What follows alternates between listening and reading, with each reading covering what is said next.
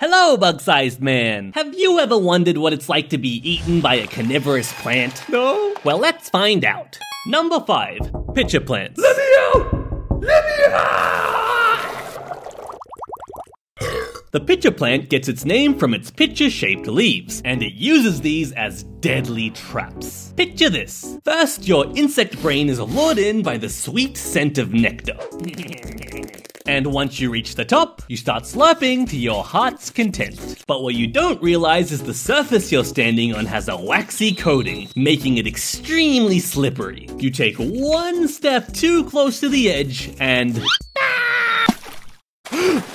You've fallen into the pitcher plant's digestive fluids. The walls are covered in wax too, making it impossible to climb out, and you slowly realize that there's no escape. As your arms grow tired, you begin to drown, and the plant starts digesting you alive. Why must you do this, pitcher plant? Well, that's a great question. Pitcher plants and most other carnivorous plant species live in environments that provide insufficient nutrients, so they've adapted to get the essentials like nitrogen, phosphorus, and magnesium from your flesh instead. No, please. Their diet mostly consists of bugs, but some pitchers are large enough to eat frogs and rats too. Subscribe, dude. Ah. They come in so many different shapes and sizes, like this one. Remind you of something? Yep, that's a toilet. The lid secretes an abundance of nectar that attracts small mammals like the tree shrew. And while it eats the nectar, the toilet bowl catches any post-lunch dumps. That's right, this pitcher plant eats poop. A wholesome symbiotic relationship. My favorite pitcher plant species has got to be the cobra lily, and this is how it would eat you. You're lured in by the scent of nectar again, this time coming from a leaf shaped like the forked tongue of a cobra. the concentration of nectar increases as you move further up, the plant's sneaky invitation to get you to climb inside, and eventually you end up inside a beautiful dome with light pouring in through many holes. Having had your fill of nectar, you decide to leave, and there's so many exits to choose from. How convenient. Ow. But it's not an exit, it's a window. You try another one. Ow. Strange. Oh well, you'll just leave the way you came in. But wait, which one was the entrance? Confusion sets in as all the exits you see turn out to be fakes. You don't notice, but this whole time you've been moving deeper and deeper inside the plant. Until. Now, unlike other pitcher plants, the cobra lily doesn't digest you with enzymes. Instead, gross midge larvae and bacteria start eating you alive, breaking you down into nutrient soup for the cobra lily to slurp up. Now, if you don't want to be eaten by my pet plant, you should boop the like button. It really helps me out a lot. Pitcher plants are just the first on this list, and there's four more leafy assassins to go. Number 4. Bladderwort.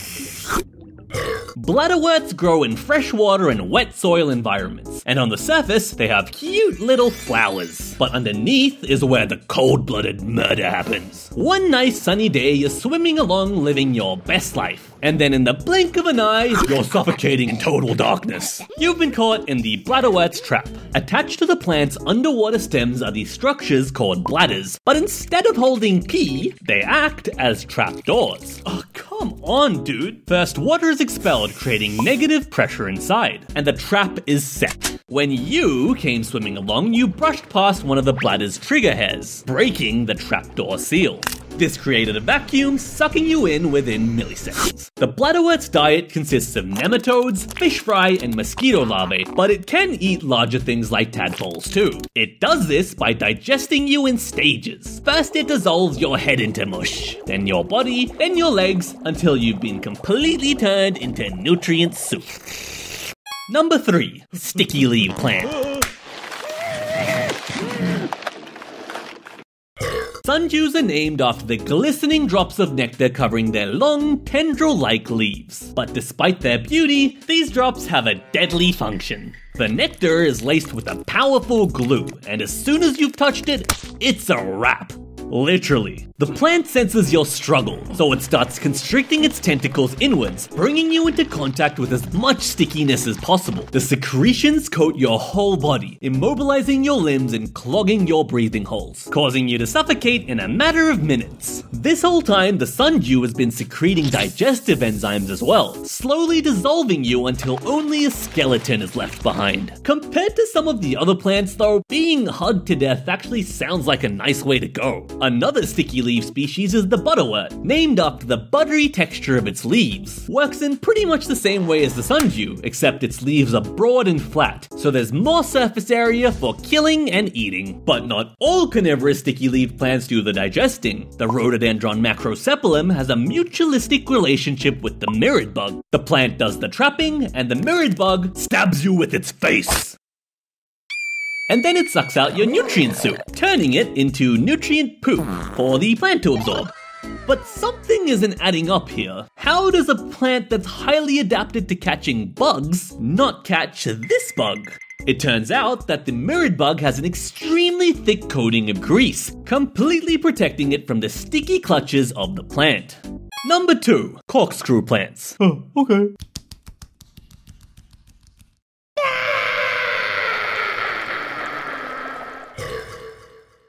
So one day you're rolling around in the dirt when you stumble upon a tunnel.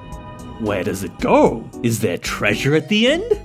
You've just arrived at the opening to one of the corkscrew plant's many corkscrew shaped leaves. As you travel through the spiraling tunnel, you brush past these strange pointed hairs. They're arranged in a way that makes moving into the tunnel very easy, but moving out, almost impossible. Your only option now is to go deeper into the cave. And after what feels like ages, you finally reach a nice chamber filled with digestive fluids and a slow, painful death. The corkscrew plant's diet consists of protozoans, mites, and annelids. And because of the sheer number of them hanging around in the dirt, the plant doesn't need to attract them. It just sits there and watches as the critters walk themselves into its stomach.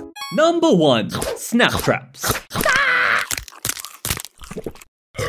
I bet you've all been waiting for this one. When you think of a carnivorous plant, the first thing that springs to your mind is the Venus flytrap. But contrary to their name, these plants don't actually eat that many flies. Their diet consists of roughly one third ants, one third spiders, and one third miscellaneous critters. Only 5% are flying insects. Four adaptations make the Venus flytrap an effective killer. First, the leaves' bright red color and sweet nectar smell tricks you into thinking you spotted a delicious fruit. Second are these tiny sensory hairs all over its leaves. Nothing happens if you only touch a hair once, but if you touch it twice, as each trap can only operate 7-ish times before dying, this adaptation prevents wasting a snap on something like a raindrop or a fallen leaf. Third, each trap has these long lashes, which look like menacing teeth. Venus flytraps are quite picky with their food, as starting the digestive process takes a lot of energy, so smaller, unworthy prey can escape through the gaps in the lashes. I'm free. But bigger prey like you are trapped inside. Fourth, to make doubly sure that it's caught a big juicy meal, the plant waits until the sensory hairs are repeatedly triggered while closed, before it finally gets ready for dinner time. The trap clamps down even tighter, interlocking its lashes and forming an airtight seal. You slowly die of suffocation, and the plant secretes digestive enzymes, dissolving you over the course of a few days. When it finally opens up, all that's left of you is a skeleton. So many exciting ways to be eaten. Now watch this one next. Or else. See ya next time! Yeah.